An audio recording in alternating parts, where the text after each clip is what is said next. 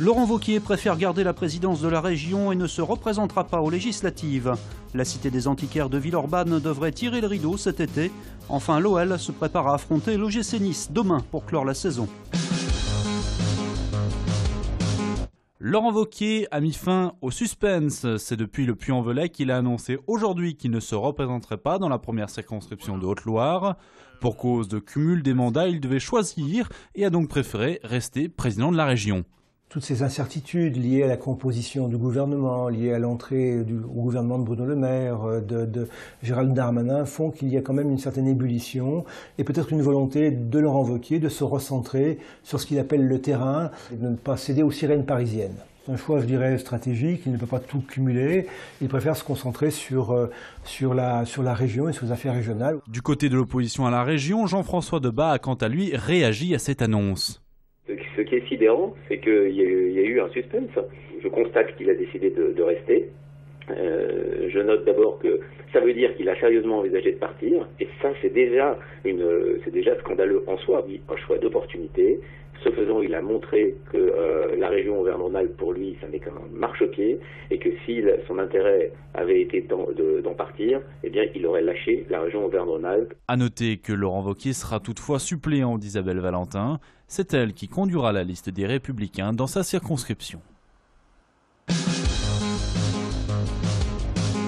La fin programmée de la cité des antiquaires, boulevard Stalingrad à Villeurbanne, elle devrait fermer cet été. Une vingtaine de marchands ont vendu leur boutique au promoteur Gilbert Georgie. Nous avons acquis la cité des antiquaires tous au même prix au mètre carré. Alors c'est vrai que c'était à l'époque en 89, donc c'était des francs. Aujourd'hui, M. Georgie nous rachète nos locaux dans des conditions que nous avons négociées euh, âprement, longuement, et dont euh, nous sommes tombés sur un prix qui est, euh, je dirais, l'équivalent de l'époque où nous avons fait notre acquisition. Il se peut qu'il y ait un ou deux, peut-être trois, je ne sais pas, euh, propriétaires qui pensent que euh, ce n'est pas assez. Mais de toute façon, ces propriétaires ne se sont jamais manifestés. Une situation liée à la crise du marché de l'Antiquité. Aujourd'hui, les années ont passé. Euh, le bâtiment est quand même vieillissant, donc des, des structures à refaire, à remettre aux normes. Et aussi peut-être une certaine lassitude de l'Antiquité par rapport à notre public. Euh, qui fait qu'il ben, y a une désertification quand même de la clientèle. L'ouverture d'Internet. Reste pour ces professionnels à trouver une solution ailleurs, peut-être plus en centre-ville ou vers les puces du canal. Dernière belle affiche de la saison demain soir au Parc OL. Les Lyonnais reçoivent ce samedi l'OGC Nice pour un match de gala mais sans enjeu. Gon et Azuréen étant assurés de finir respectivement 4e et 3e de Ligue 1.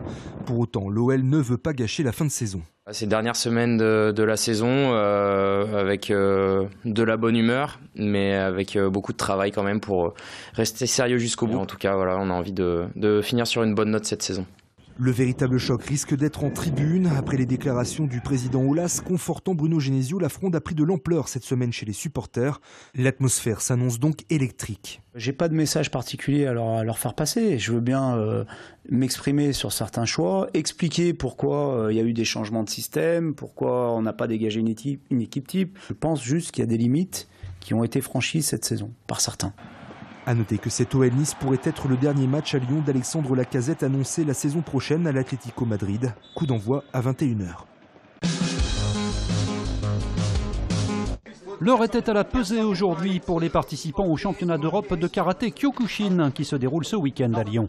C'est un karaté au contact. Pour les adultes, il n'y a aucune protection à part une coquille et les coups sont portés. Garder un gros rythme pendant 3 minutes, c'est long. Très très dur. Les coups sont portés, ils ont fait 4-5 combats avant, avec prolongation ou pas, ça dépend. Et arriver en finale, c'est physiquement c'est lourd. Hein, voire euh, souvent des blessures quand même. Hein. faut savoir que c'est un style qui est peu pratiqué en France, mais c'est le premier style de karaté dans le monde.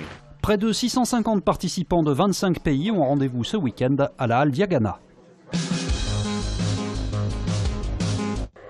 Rendez-vous au fond du bassin. La piscine du Rhône accueille demain samedi le deuxième Open d'apnée avec 9 équipes engagées, 45 compétiteurs au total. On a voulu faire une compétition par équipe, donc ce sont des équipes de 5, alors qu'habituellement sur le circuit, les compétitions d'apnée sont des compétitions individuelles. Et l'autre, le dernier point atypique, c'est la mixité. On a imposé que les équipes soient composées de 3 garçons et 2 filles. Cet Open d'apnée propose 5 épreuves différentes. On a l'apnée statique où il faut tenir en apnée le plus longtemps possible sans bouger.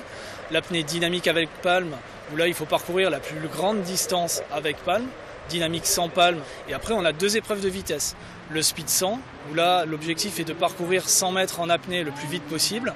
Et le 16 x 50 où l'apnéiste doit effectuer 16 apnées de 50 mètres le plus vite possible. La partie mentale est primordiale. C'est-à-dire qu'il y a tout nous appelle à respirer en fait, tout nous appelle à ventiler, à reprendre sa, ventilation normale comme on le fait à l'air libre. Sauf que là on est sous l'eau et l'objectif c'est de maîtriser aussi toutes ces sensations. Et puis c'est la résistance musculaire à, un non-renouvellement d'oxygène, c'est-à-dire qu'on a les muscles qui sont très rapidement saturés et l'organisme qui est saturé en CO2 avec un déficit d'oxygène.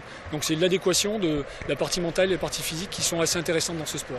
L'Open d'apnée c'est demain dès 10h à la piscine du Rhône. La compétition est ouverte au public et l'entrée est gratuite.